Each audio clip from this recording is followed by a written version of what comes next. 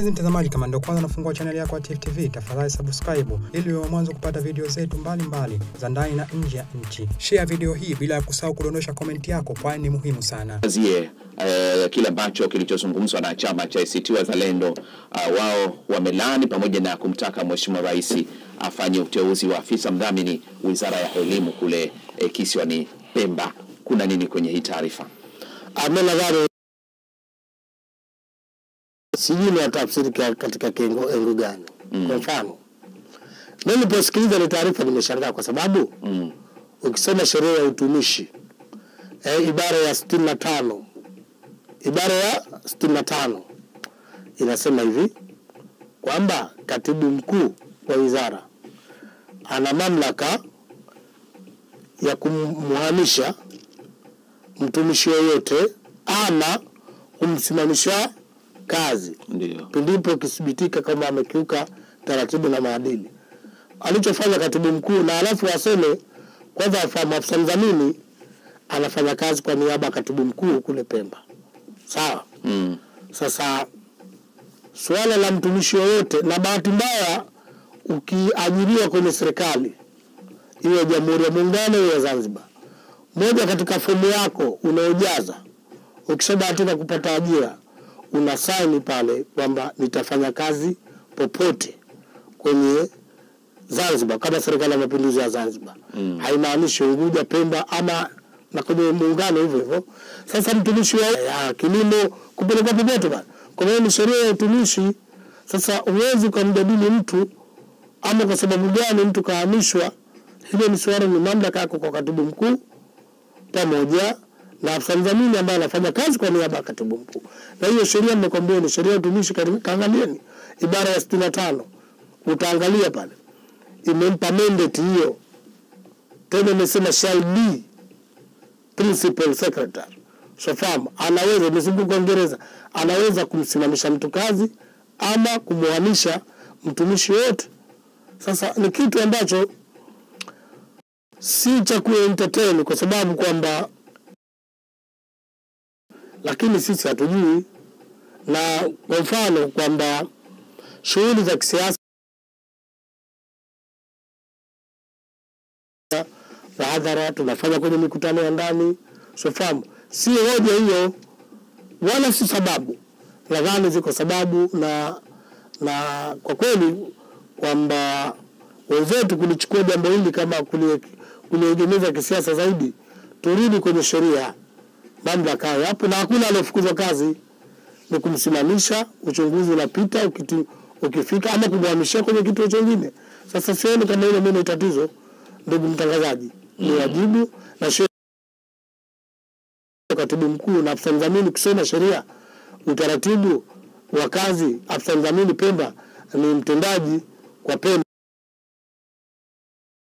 Okay. hilo Haya, wakati tuko huko kisiwani Pemba, moja kati ya kuna video ambayo ilikuwa ikisambaa sana kwenye mitandao ya kijamii ilikuwa kimeonyesha kuna kijana mmoja kupitia chama cha ACT Wazalendo akiwa anazungumza kwenye mkutano wa hadhara, na nakumbuka ilikuwa ni Wete kule. mm -hmm.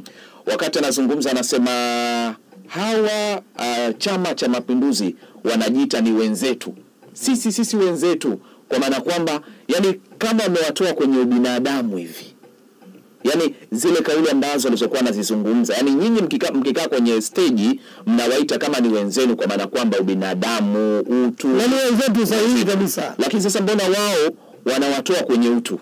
Ame nadhani ni, ni, ma- ni malezi Mm. ya ACT Wazalendo na jitathmini katika vijana wao. Sisi tunaamini ndani ya CCM binadamu wote ni sawa, Ndio. na sisi tunaamini tu ni kiapo cha chama chetu.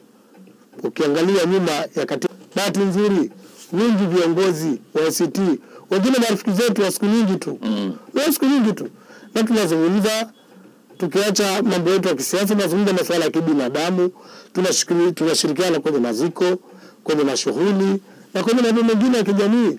Tukifika katika engo ya kisiasa tunanadi sera, na ndio maana ukaona Mm. wengi wetu sisi, ukimwona makamu mwenyekiti, mwenyekiti mwenyewe Rais Samia, sisi wasaidizi wao kwenye chama wengi, hatumtukani mtu sisi, hatumtukani mtu wala hatumbagui mtu. Sisi tunakujibu Kama umesema kitu hichi kiko hivi, sasa kujibu tu, shafahamu kwa kitu hicho ndio siasa. Kwa mimi nadhani tuendelee kucha siasa, si uadui, si chuki. Almost sisi Wazanzibari ni ndugu. Huwezi kwenda mtu wa, watu watatu tu kama huyo mtu huja- hujagusana naye, utagusana na aidha umemwonea kakuonea, ama wazee wenu wanakutana kwenye ukoo pahali pamoja. Wazanzibari sote sisi sote kabisa, huwezi kwenda koo mbili tatu hamjagusana. Mi nadhani kwamba siasa hizi zisitugawe mm. zituunganishe, tubaki kujenga hoja, maana siasa ni hoja.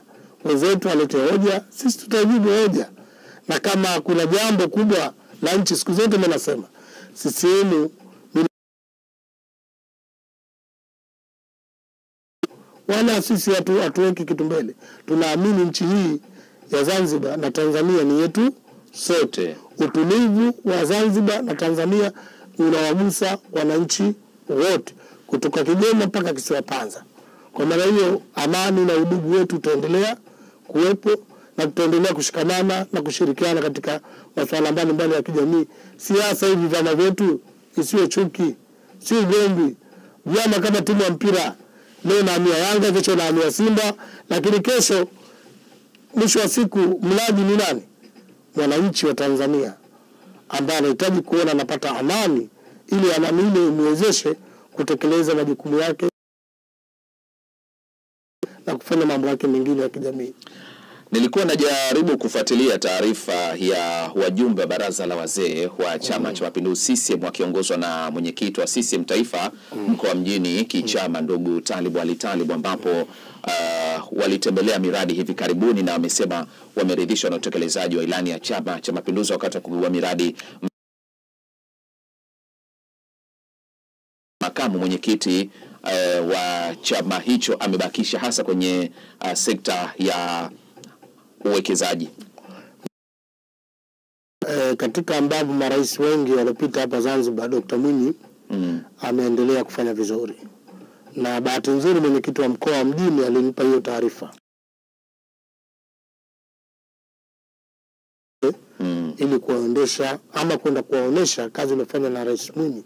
Nikaambia jambo zuri, na mimi nitakusaidia kutoa information kwa taasisi husika. Kwa maana hiyo ni ziara nzuri na endelevu, na kwa mfano mikubwa yenye ukazaji wa zaidi ya trillions dollars ambayo inakuja kuwekeza Zanzibar, mengine inaongezeka Zanzibar.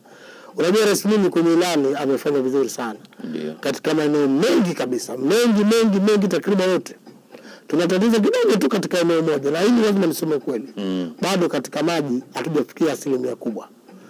E, tuko kama asilimia sitini sasa hivi Okay. kwenye maji, kwa maana miundombinu ya maji imekamilika vizuri, kwa maana structures, kwa maana tanks, eh, transmissions kutoka katika visima kwenda kwenye matanki na mahozi makubwa, bado distribution sasa kwa wananchi. Sasa hapa ndo tunakuambia napo tuvuke, lakini kwa kweli ukiangalia maeneo mengi kama maeneo ya elimu, afya, mambo ya ustawi jamii, eh, umeme tuko vizuri sana sasa hivi. Sasa hivi kila kijiji, takriban vijiji vyote Unguja na Pemba vimefikiwa na umeme. Sasa hivi tuna sera kupeleka umeme kuvuka sasa kwenye visiwa vyetu vyote ambavyo kuna makazi ya watu. Kwa maana hiyo mambo yanakwenda vizuri katika sekta ya miundombinu ya barabara, kwa maana kwa maana mimi nimpongeze sana Dr. Hussein Almini katika kuhakikisha kwamba huduma za jamii kwa wananchi wake zinakuwa bora na za kisasa. Jana mmemsikia tu rais mwenyewe anazungumza, mm. alikutana na waziri wa fedha na anashughulikia masuala ya ya ya ya ya uhusiano kutoka serikali ya Omani kwamba amekubali sasa tunajenga hospitali nyingine ya mkoa pale regional yeah. hospital pale Mahonda, na hii ni mwelekeo, bila mkoa tutajenga hospitali kama ile aliyomwomba. Sasa kani imagine ndio Zanzibar inakuwa iko wapi? Ukizingatia Rais Mwinyi ana miaka mitatu na nusu tu kuelekea miaka minne, hajapata miaka kumi wala saba wala minane. mm. Kwa maana tuna matumaini sana kwa Rais Mwinyi kwamba nchi yetu itabadilika sana kabisa katika maeneo mbalimbali kabisa. Sasa kwa maana sisi kama wananchi tunataka tumuunge mkono. Tifu TV inakupatia video mbalimbali kutoka ndani na nje ya nchi. Tafadhali endelea kutufuatilia kupitia chaneli yetu ya Tifu TV, YouTube, Facebook, Twitter na Instagram, bila kusahau kudondosha komenti yako, kwani ni muhimu sana. Tifu TV